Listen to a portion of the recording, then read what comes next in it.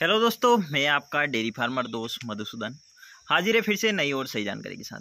आज का जो टॉपिक है कि डेयरी फ़ार्मिंग में इनकम होगी या नहीं। यानी कि कई सारे मित्र ऐसे हैं जो हमें कमेंट करते रहते हैं कि उन्हें डेयरी फ़ार्मिंग शुरू करना है तो क्या वह कर सकते हैं?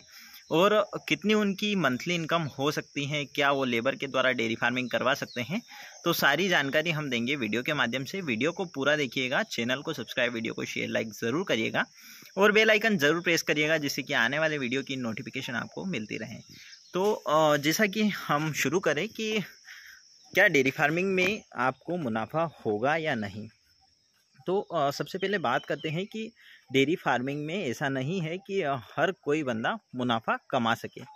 तो इसमें कंडीशन क्या होती है कि सबसे पहले आपका एक्सपीरियंस जो होता है, यानी कि आप यदि शुरुआत करते हैं, पाँच गाय आप ले आते हैं, एक्सपीरियंस बिल्कुल ज़ीरो है तो उन पाँच गाय को ले आते हैं एक साथ और कहीं ना कहीं डेयरी की शुरुआत करते हैं। सारी मिल्किंग मशीन भी आप ले आते हैं, फर्श अच्छा करवा लेते हैं, मेट लगवा लेते हैं, फोगर लगवा लेते हैं परंतु जो एक्सपीरियंस है वह नहीं है। तो मान लो कि गाय गाय जनी है आज और उसकी देखरेख हम 20-25 दिन तक सही से नहीं कर पाते हैं नहीं उसका जो ट्रीटमेंट है वह नहीं कर पाते हैं। उसको मेडिसिन समय पर नहीं दे पाते हैं कौन सी मेडिसिन देना होती हैं। तो उसकी केयर यदि सही नहीं होती है तो उसका जो पूरा लेक्टेशन होता है वह ख़राब हो जाता है। तो कहीं ना कहीं मिल्किंग यदि आप आ, किसी जान पहचान किसी आ, अच्छे जानकार को साथ ले जाकर गाय अच्छी खरीद लेते हैं पर उसकी केयर सही से नहीं कर पाते हैं तो वह गाय अपने पूरे इलेक्ट्रेशन को ख़राब कर देती हैं और कहीं ना कहीं उसके ज़िम्मेदार आप स्वयं होते हैं। तो उसके जो इलेक्ट्रेशन ख़राब हो जाता है तो उसका पूरा इलेक्ट्रेशन लगभग दो तीन लीटर मिल्किंग या बिल्कुल ज़ीरो मिल्किंग पर आ जाता है यदि केयर सही से नहीं होती है। हो सकता हो वह चार पाँच महीने अच्छी मिल्किंग आपको कर दें। उसके बाद में होता क्या है कि गाय प्रेग्नेंट भी नहीं होती हैं और मिल्किंग कम कर देती हैं। यानी कि शुरुआत में सात आठ लीटर मिल्किंग कर कर रही होती हैं और जैसे ही आपसे केयर सही से नहीं होती हैं, उसका ट्रीटमेंट सही नहीं होता है, एक हाथ बीमारी कोई सी ऐसी लग जाती हैं या उसके जन्ने के समय जेर सही से नहीं गिरती हैं, जन्ने के समय आप उसका जो ट्रीटमेंट है वह अच्छे से नहीं करते हैं, उसका ख्याल अच्छे से बीस पच्चीस दिन नहीं रखते हैं तो धीरे धीरे मिल्क कम हो जाता है और प्रेगनेंट भी नहीं होती हैं। तो वह लंबे समय तक प्रेग्नेंट नहीं होती हैं, लगभग छः सात महीने तक। सात महीने बाद वह मिल्क ज़ीरो कर देती हैं और प्रेग्नेंट हो जाती हैं। तो सात महीने के बाद आपको लगभग नौ महीने उसको खिलाना होता है और कहीं ना कहीं आपको उससे प्रॉफिट नहीं होता है और नौ महीने तक आप उस गाय को देखते रहते हैं, उसको खिलाते रहते हैं, उसका ख्याल रखते रहते हैं तो कहीं ना कहीं वह आपको लॉस देती रहती है। इसी प्रकार से जो गाय खरीदते हैं, केयर सही से नहीं हो पाती है तो यही सबसे बड़ा रीज़न है कि गाय जनती है। जनने के 20 दिन तक आप उसकी केयर इतने अच्छे तरीके से करें, जैसे कि आप एक बच्चे की केयर कर रहे हों। आप एक मरीज़ की केयर करते हैं, एक इंसान की केयर करते हैं, उसी प्रकार से गाय की केयर करें। और गाय की जो लैंग्वेज है यानी कि गाय हर बीमारी का एक इंडिकेशन देती है। यदि गाय के पेट में दर्द होता है तो गाय बार बार बैठना उठना करती रहती हैं गाय बेचैनी फील करती हैं। इसी प्रकार आफरा हो जाता है तो पेट फूलने लग जाता है। तो कहीं सारी आ, सारी बीमारी सारी बीमारी का हर एक इंडिकेशन आ, उस बीमारी की शुरुआती दौर में हमें पता यदि लग जाता है तो गाय का लेक्टेशन भी बच जाता है और कहीं ना कहीं आपको बेनिफिट होने लगता है। इसी प्रकार से गाय का सिलेक्शन यदि पाँच गाय आप खरीदते हैं, पाँच गाय में यदि आप कैलकुलेट करते हैं कि दस लीटर एक गाय का एक समय का तो पचास लीटर मिल्क और पचास लीटर से आप, यानी कि पंद्रह सौ रुपये पर डे यानी कि महीने का पैंतालीस हज़ार। दस हज़ार आप लेबर को दे देते हैं तो पैंतीस हज़ार आपको महीना बच जाता है। तो यह कैलकुलेशन सरासर गलत हो जाती है, कब? जब आपकी गाय का सिलेक्शन सही नहीं हो केयर सही नहीं हो यदि आपकी पाँच गाय हैं, पाँच गाय में से चार गाय आपको अच्छा मिल्किंग करती हों, यानी दस लीटर मिल्किंग करती हों, एक गाय आपको दो लीटर मिल्किंग करती हों तो कहीं ना कहीं रेशो सारी गाय का डाउन हो जाता है, खिलाना सारी गाय को बराबर होता है, पर मिल्क नहीं हो पाता है तो वही पाँच गाय का मिल्क चालीस लीटर ही हो पाता है। पर कैलकुलेशन आप जब शुरू करते हैं, पाँच गाय का पचास लीटर से करते हैं। इसी प्रकार से हो सकता हो दो गाय बीमार हो जाए हो सकता हो तीन गाय बीमार हो जाए हो सकता हो पाँचों गाय अच्छे से आपके फार्म पर जो मिल्किंग है वह करे और आपका फार्म काफ़ी अच्छी तरीके से चले। तो यही है कि शुरुआती दौर में काफ़ी समस्या आपको आनी होती है। तो कहीं ना कहीं आ, हो सकता हो एक दो गाय एक्सपायर भी हो जाए।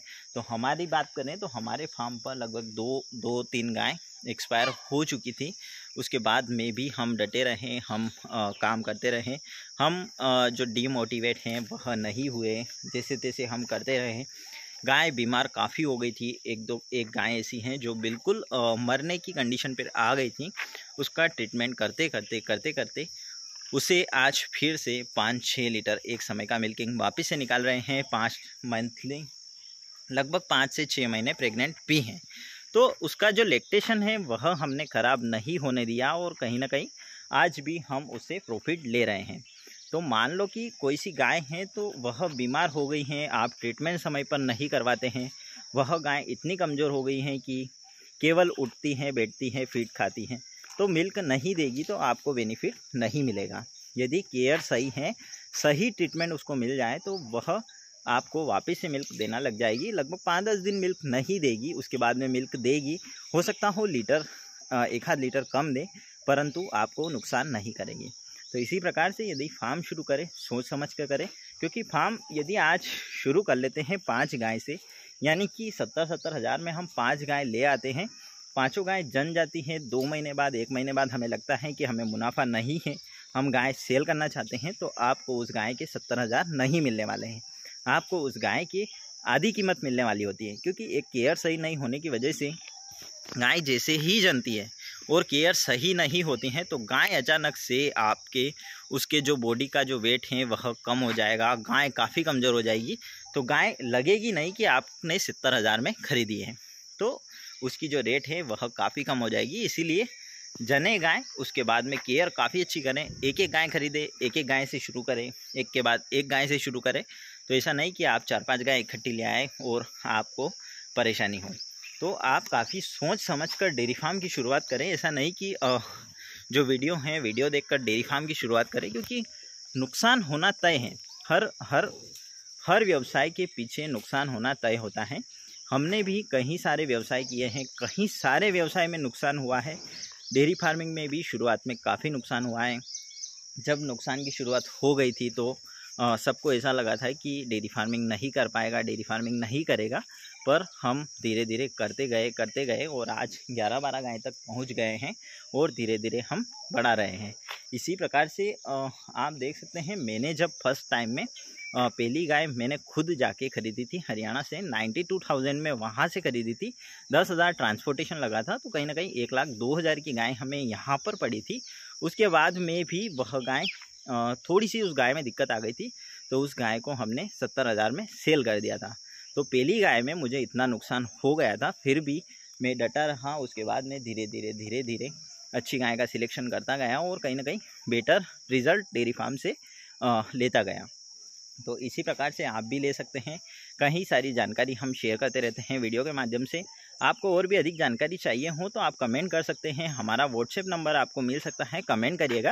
व्हाट्सएप नंबर मैं आपको शेयर कर दूँगा, उसके माध्यम से हम चर्चा करके आपको बेहतर जो सजेशन हो सकेगा आपके लिए, जो हमने नोटिस किया है, वह मैं आपको सजेशन दे सकता हूँ। और भी हमारे लिए कोई सजेशन हो तो आप कमेंट ज़रूर करिएगा। आपका बहुत बहुत स्वागत है। आपका बहुत बहुत धन्यवाद जो आप हमें इतना प्यार देते हैं, इतना सपोर्ट करते हैं। थैंक यू फॉर वॉचिंग मिलते हैं अगले वीडियो में नई और सही जानकारी के साथ।